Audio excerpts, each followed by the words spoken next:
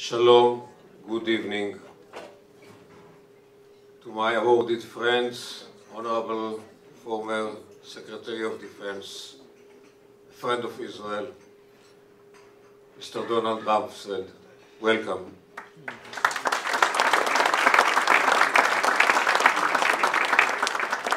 To my dear friend in the Likud party, as well as in the government, Dr. Yuval Steinitz, and for the youngest, Ravital Azulai, uh, all of them, all of you, for being awarded today. Ambassador Ron Prosor, and last and not least, dear American friends of Likud, ladies and gentlemen.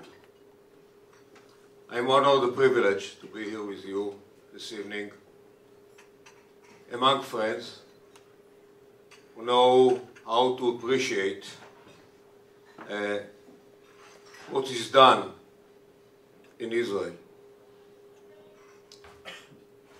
And I believe and I feel like I'm more awarded for many, many soldiers and officers who served and who are serving even these minutes in the defense of our country, on the ground, at sea, and in the air.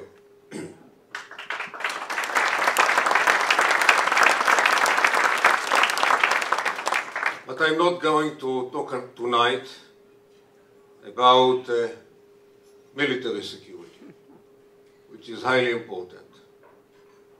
I'm just coming to New York from Washington to discuss the challenges ahead of us, challenges for the State of Israel, the challenges for the United States, the challenges for the free world. And knowing very well the American friend of Likud, you deal with the right thing, education. As I believe that in order to meet the challenges in, ahead of us, there is a need for education. As I found that our internal challenges, either here in America, in Israel, and elsewhere, the main challenge is confusion, lack of clarity. And if you don't have the right diagnosis regarding the challenges ahead of us, you can't have the right prognosis. And we hear today about the Arab Spring. For, from Jerusalem, it seems more like an Islamic winter. But this is part of the conceptual failure which we go through when we deal either with the Israeli-Palestinian conflict, the threat of Islamic Jihad, or the Iranian threat. And when our way of thinking is dominated by either wishful thinking, naivete, or in certain cases patronism, believing what is good for the Middle East, they are all to fail.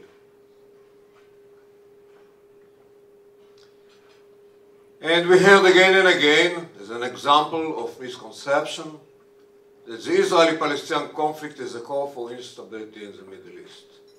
Is it really the case? So what is the linkage between the Israeli-Palestinian conflict and the uprising in Tunisia? Or the revolution in Egypt? Or the civil war in Syria?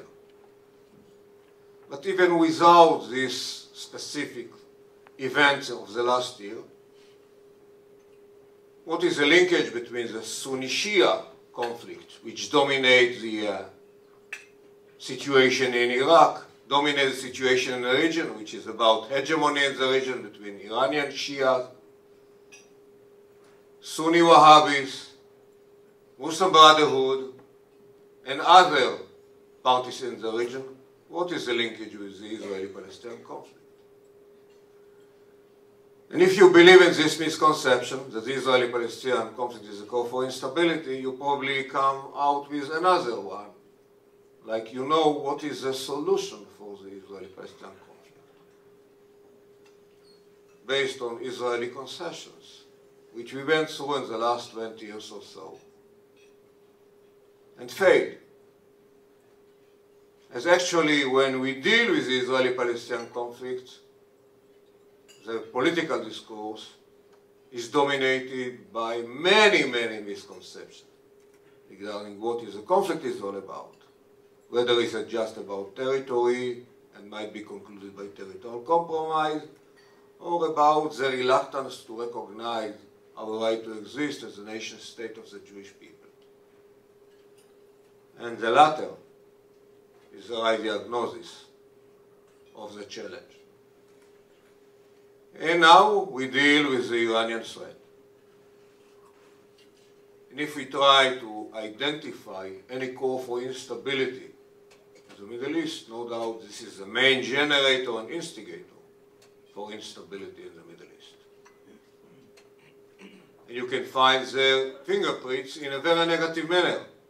In Iraq, in Afghanistan, in Lebanon, Palestine arena, in Bahrain, in Yemen, and in Latin America as well.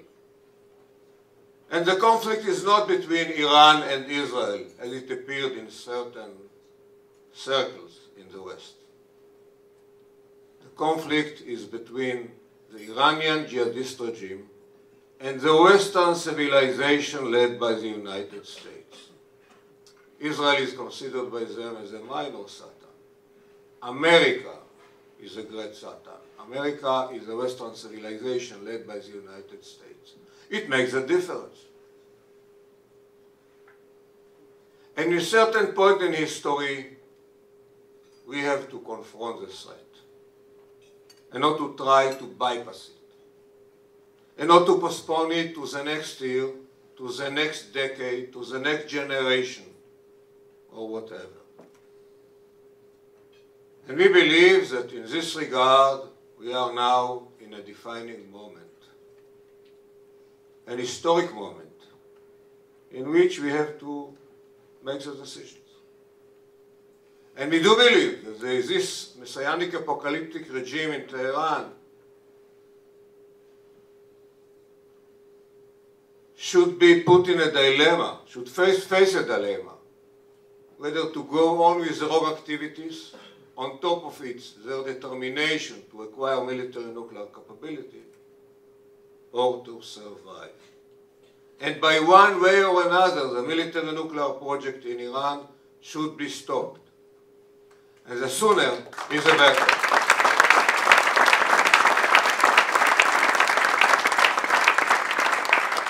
And we hope that Western like-minded people, and especially Western like-minded leaders, will not avoid, will not escape the hard decision to be taken in the very near future. Having said that, talking about education, without any connection and with connection to the external threats, education is a cornerstone in any national security posture, especially in Israel.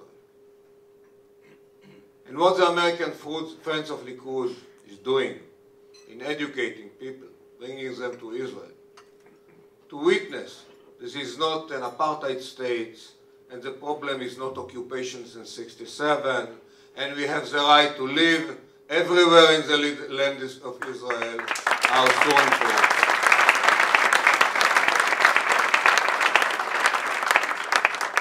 And I'm confident about the future of the State of Israel.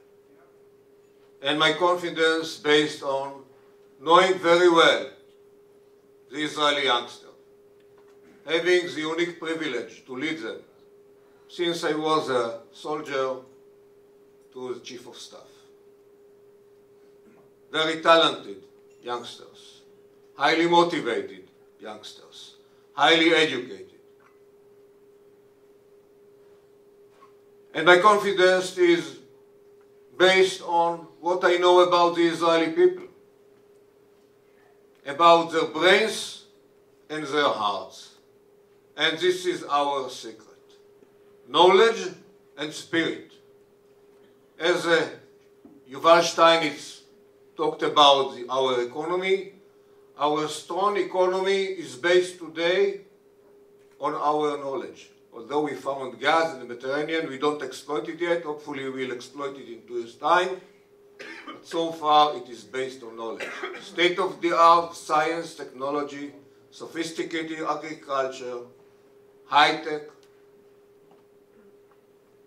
the people.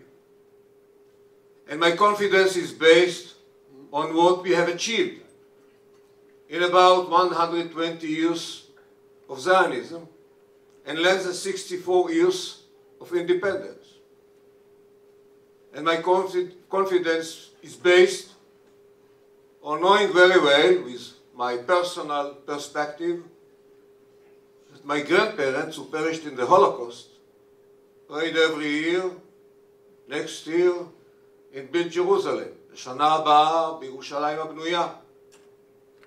They didn't imagine, imagine that only three years after the end of World War II, we will have an independent state, we will have Jerusalem as a capital, and we will have today a government in Jerusalem which is committed to build Jerusalem and not to divide it.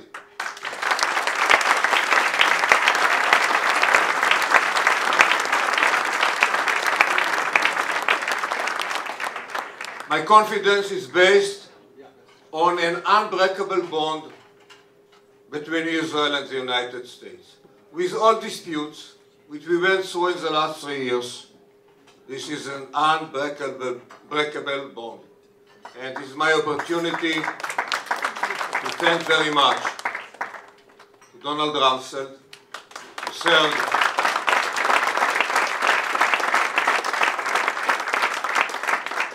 served as a Secretary of Defense while I served, I, I will be serving, I was serving as a Chief of Staff.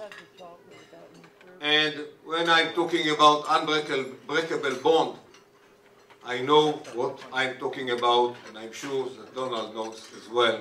What does it mean between the defense establishment?